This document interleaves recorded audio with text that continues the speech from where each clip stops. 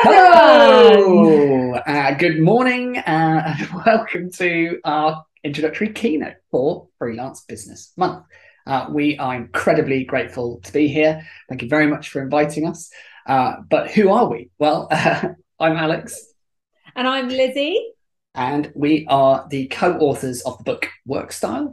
Uh, we're also the co founders of Hoxby. Uh, but we'll come on to all of that in good time. We're going to tell you what work style is, who Hoxby is, uh, but more importantly, we're going to be talking about um, the way we work, the role of freelancers in the future of work, what we think the future of work might be, uh, and in particular, how we think uh, diversity and diverse communities will come to play their role uh, in shaping the future of work. Absolutely uh, central is what we think, but we'll come on to that in more detail. We will. We will. Um, uh, but before we get into that, uh, we thought we'd just take a couple of minutes to just introduce ourselves and our backgrounds that have kind of taken us to this point. Uh, Lizzie, do you want to kick us off? Yes, yes. So, um, as you may have gathered from the blatant t-shirts, we're here to talk about work style. Everything we do is about work style, and when we talk about where the future will take us in work context, we believe work style is the future of work. Um, and just to give some context to our stories, um, we'll just define what we mean by work style. Work style is a word that we invented. Alex and I came up with it in the pub where all the best ideas happen in the UK about eight years ago. And we came up with it as a word to describe the freedom to choose when and where you work. As a freelance group, you'll already understand that. For many employees, they find it harder to grasp that concept. Um, but we believe that with various changes that are happening, everyone should now be free to work in their own work style. And we're going to tell you why um, over the next half an hour. But as Alex says, first we're going to tell you why this is so important to us um, personally. So for me, this started when I had my first child. I now have three, uh, which is quite overwhelming. Um, but when I had my first child, um, I'm embarrassed to say that my eyes were really opened to the pervasive inequalities in work. Uh, until then, I'd been pretty much equal with my husband in terms of how we'd worked. Um, our career trajectories had been about the same. Um, and when I had my son, I realized that the nine to five five day a week working structure that has survived for the last 200 years since it was invented by the great Sir Robert Owen um, just didn't work for me anymore. Uh, because actually, I wanted to be with my child when he was awake. And I wasn't going out in the evenings. So I wanted to be able to work then. And then actually, I should be able to be judged on my output rather than when I was in a particular place. So Alex and I came up with the concept of work style, but since we came up with that and we built the business Hoxby around it, I've had more cause to really come to value work style in my life. Um, I was diagnosed with breast cancer a couple of years ago, um, and work played a really important role in my chemotherapy and radiotherapy and treatment generally in that it gave me a distraction. It meant I wasn't defined by cancer, but it also meant I could work on my terms as much or as little as I could handle that day. I've also moved across the country seamlessly from London to Bristol in the southwest of England. Um, and again, no issues with work. So work style helped me then. And now I have um, a caring situation in my close family that means that yet again, I've come to really personally value work style and put work style to the test and see that it can really work. So, in many ways, I've seen work style in practice over the last eight years since we had that idea in the pub. And it's an idea that was a meeting of minds, really, because Lizzie, you were obviously trying to start a family and uh, juggle that uh, at a time, you know, really that predated even cloud computing, but those technologies were were coming out, and we'll come on to that in a sec. But for me, uh, it was about how I would respond from going through burnout. So uh, most of the work that I'd done up to that point was um, exciting, uh, enjoyable work. I loved what I was doing, uh, running uh, the client servicing side of, of an agency that was doing really well. It was growing under its own steam, uh, and as a result of our efforts. Um, but eventually I got to the point where Suddenly I didn't really I didn't really care about how well we were going. I, I felt it very difficult to feel emotional about the highs uh, or even the lows. And I think it was my wife at the time who said to me, "You're a, a shadow of your former self right now." And what I later realized was that was um, that was burnout. That was the point where psychologically my relationship with work had reached uh, a really low point. And what I later came to realize is that that is primarily because I'd been judging my performance at work on the basis of how much time I put in, how many hours I was doing. Uh, contractually, we all uh, understand that people work nine to five Monday to Friday, and you know, it's a 40 hour week. But I was validating my performance on whether I was doing a 60 hour week. Um, and if if I wasn't doing a 60 hour week, I wasn't doing enough. Um, and you know, eventually there's only so much that the body can give under those circumstances. And eventually, yeah, I kind of reached a low point. And uh, the realization that took me to the conversation in the pub with Lizzie was that I didn't want to validate my work on how many hours I was doing anymore. I wanted to be judged on my output in the same way as Lizzie did. I wanted to be free to work when and where I chose and simply to achieve what we're setting out to achieve and be judged on that. And that new psychological contract with work would require us to think differently about the way we work together. Uh, so, what would happen if uh, if we had that that ability to decide when and where we worked? Well, the thing we decided was very early. There's no word for that. There's no word, no no language around to help us communicate to one another when and where we work that isn't in some way related to nine to five. You know, it's typically we talk about you know, working part time or a flexible worker of some description that's all relative to the traditional nine to five uh, rigid system. So, although we'd had a couple of dark and stormy cocktails that night, we were able to realize that the reason that this word didn't exist is because no one was doing this, nobody was working this way yet. But there were certain factors, certain catalysts that were coming together at that time that meant that this was now possible, where in the past it wasn't.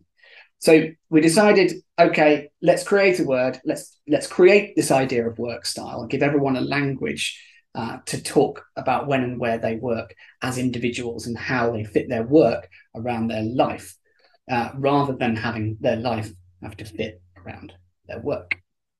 And we came up with a hand gesture as well. We did. The W the W of work style, which we've used many times since then. and actually, we've enlarged on with some other hand gestures in the book. Yeah. Um, but what was really interesting was when we started using the word work style, we found people used it back to us in the same conversation. And so we realized that there was a real need for this word that wasn't loaded, like shirking from home or flax pest or various other ones. Um, and so since then, work style has become our mission. Um, and we went looking for other organizations that existed that were working in this way, and we found none.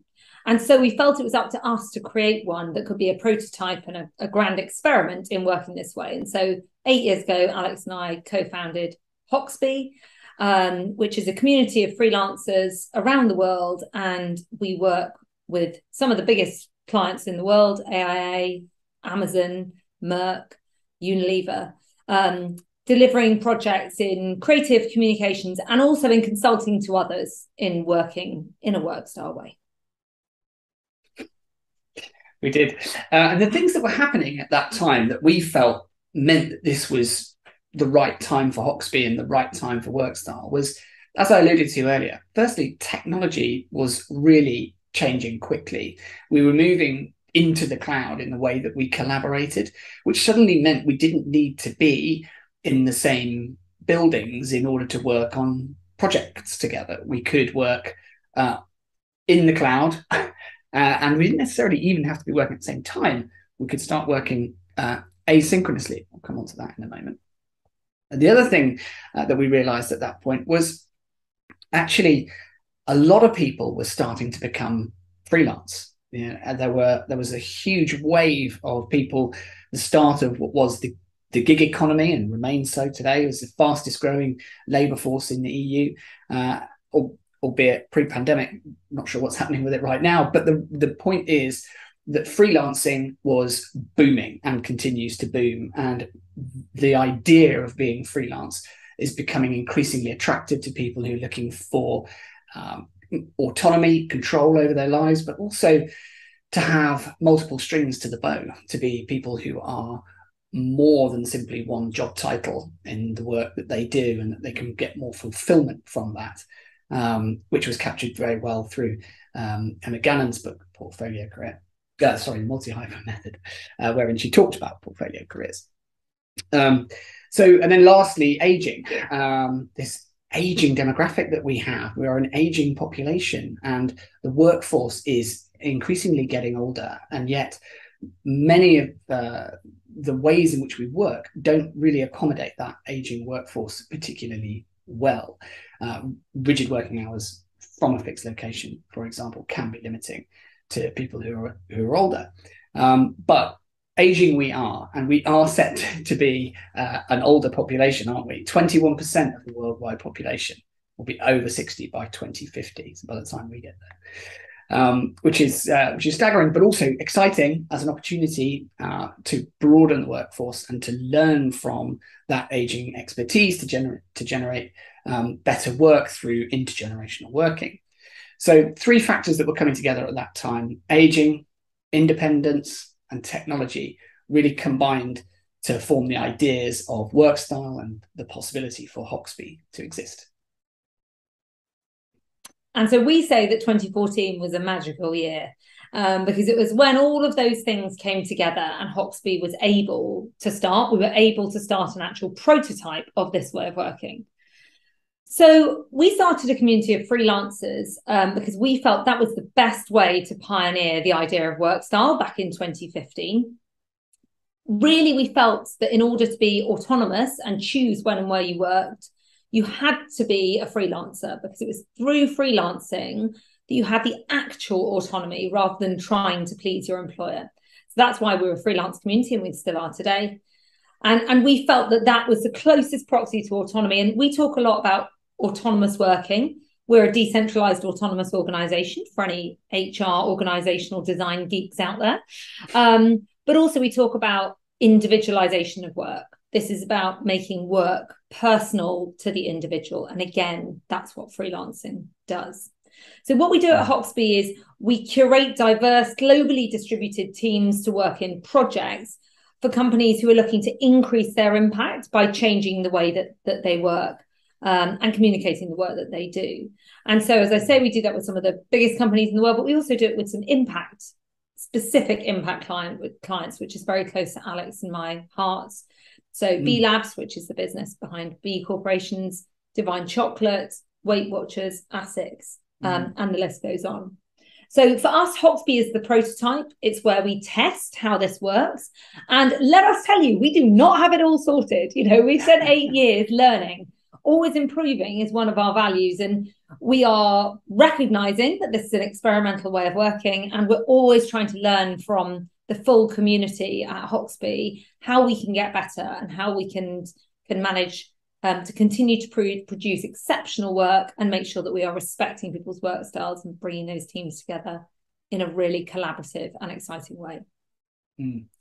It's a completely different business model to um, how traditional work works. You know, we are, as you said, distributed, autonomous, entirely freelance, officeless, um, and yet still able to collaborate and deliver fantastic projects for those reputable clients that we're we're so proud to have. Um, but it is, as Lizzie says, a test environment. So we've learned loads about how we do that and how we do it well, how we make work style work for everyone.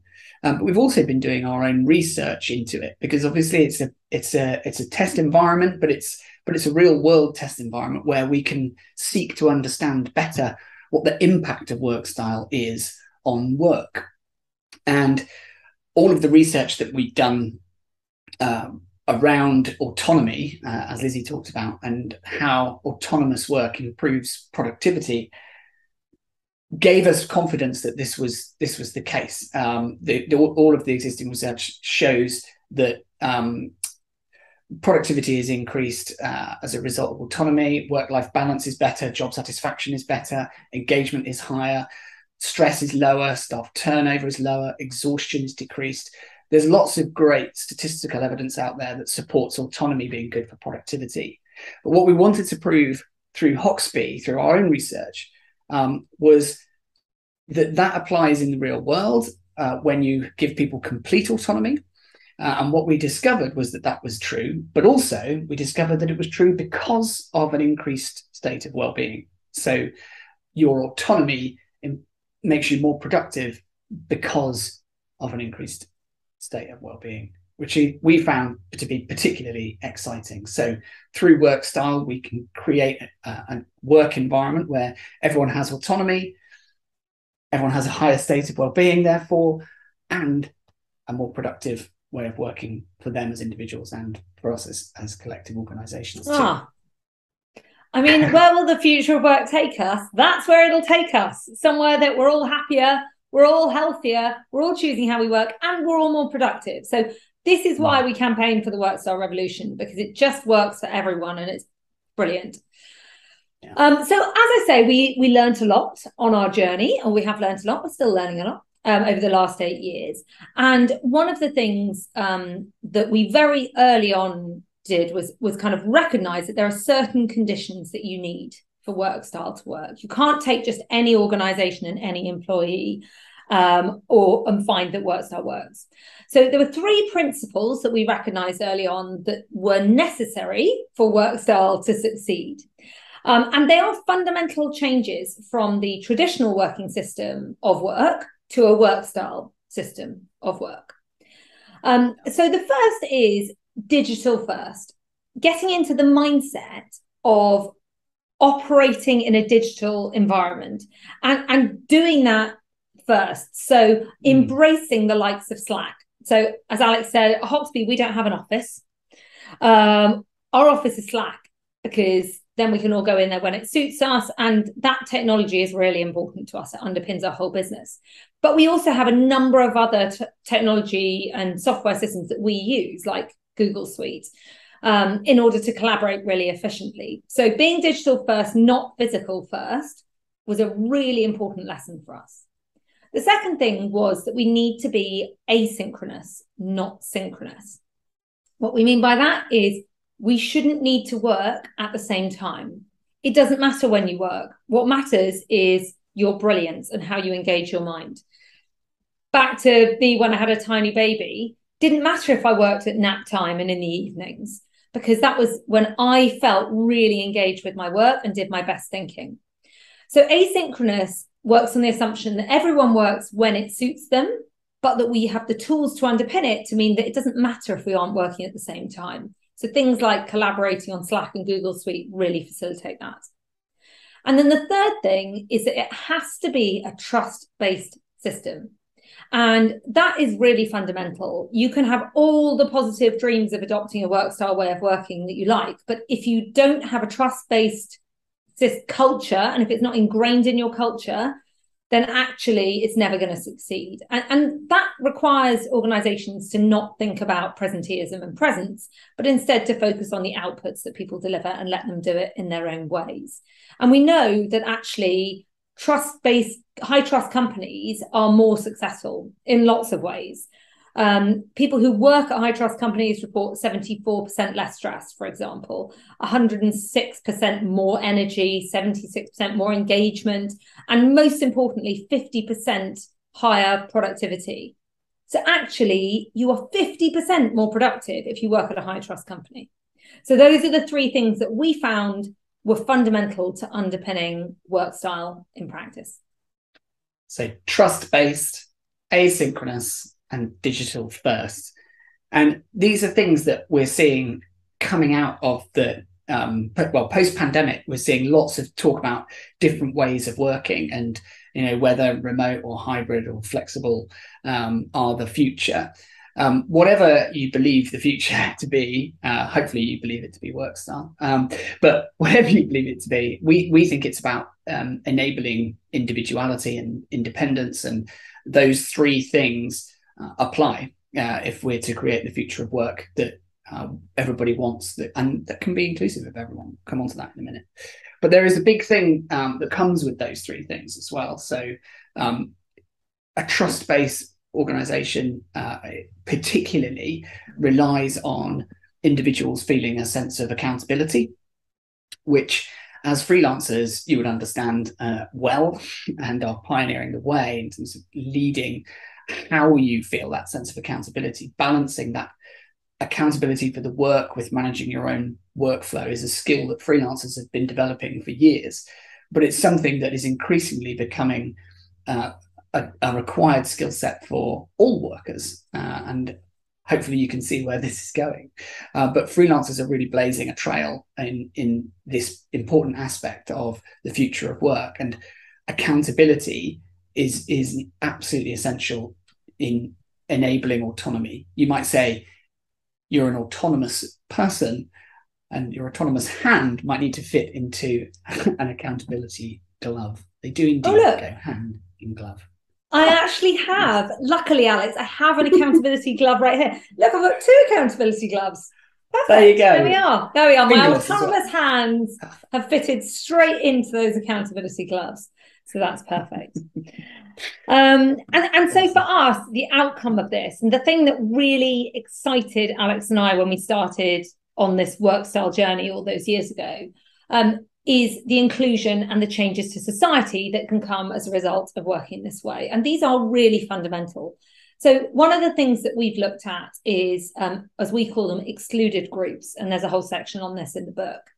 That the way we work now is a 200 year old system. And at the time, it was really revolutionary to only work eight hours a day eight hours labor, eight hours recreation, and eight hours rest.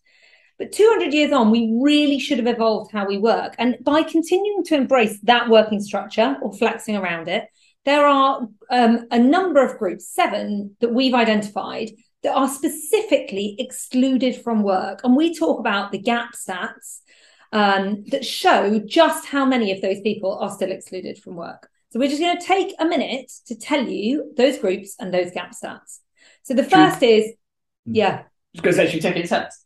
Yeah, go on. All right. So don't want to hear too much of me. The first one is living with a disability. So 82% of people without disabilities work, but only 53% of those living with disabilities do. So that is a 29% gap. Similar, um, a similar gap to in mental health, where um, 43% of people with mental health problems are in employment compared to 74% of the general population. And that's a 31% gap. Carers are another group, an area close to my heart. 61% of carers don't do paid work, but 50% of those would like a job. So that's a 30.5% gap. Neurodiversity 77% of people with autism want to work, but only 26% do, which is a 51% gap. It's huge. Um, those living with illness, uh, chronic illness particularly, 50% of people with long term health conditions say that health is a barrier to the work they can do. So that's a 50% gap. That's people who want to be working but can't. And for older workers, only 39% of retiring workers do so voluntarily, the majority would prefer to continue working in some capacity, which is a 61% gap. Madness. And we cannot function as an economy without starting to involve those older workers. And then finally, parenting. 86% of working parents want to work flexibly, but only 49% do. So there's a 37% gap there, even in a group that you would think was being best accommodated by flexible working. So we think it's really important that we start making significant strides to close these gaps, which flexible working has not done. And we think WorkStyle is the answer to doing that. Yeah. And to, to make that, to make it clear what we mean by that, we think the answer is enabling individual choice over when and where to work. So if everyone has that individual choice, then all of those people could access work if they could access it on their terms and we could close those gaps. And if we were able to do that by revolutionizing the way, the, the basic way in which we work. So forgetting nine to five office based principles and embracing the idea of work style, working when and where you choose as an individual and collaborating with one another in that way, then what we can get is a much more inclusive and much more diverse workforce. And that manifests overall at a total level and within our organization. Suddenly, we're able to create the levels of diversity that are so badly needed and so badly lacking across uh, the companies that and that we have and the way those companies are structured. So we begin to create diversity at, in in real terms, both both geographically, um, physically, ethnically, and also cognitively, which we know is really important to business performance.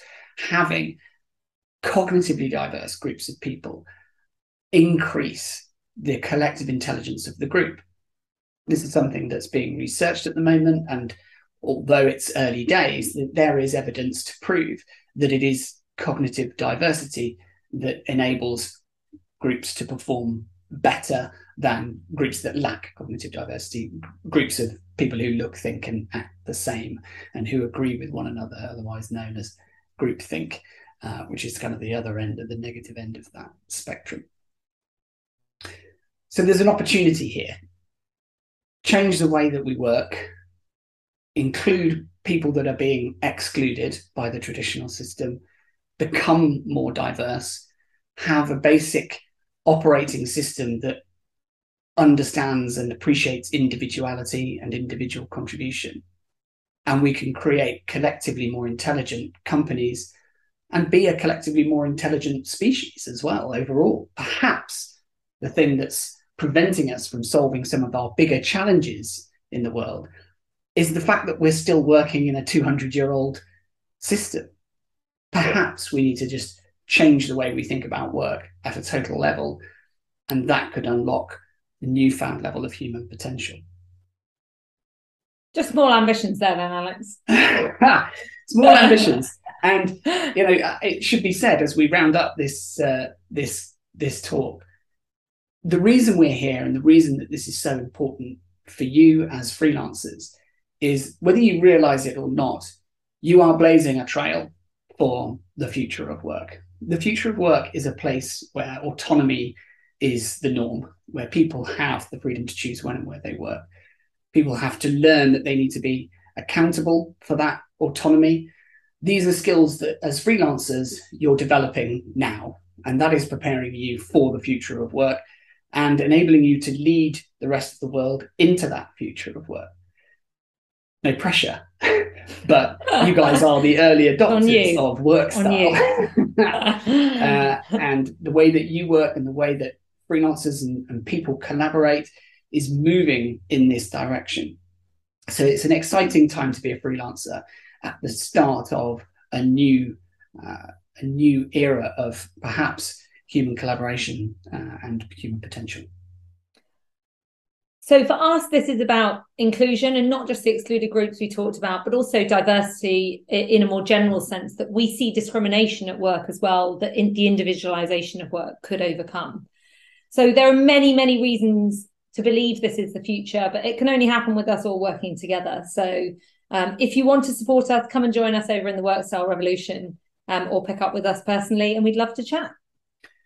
Thank you very much for listening. We hope you enjoy the rest of the program. There are some fascinating speakers and conversations to follow. Uh, it's going to be a great, great event, and uh, we look forward to crossing paths with you all soon. See you soon. Bye bye.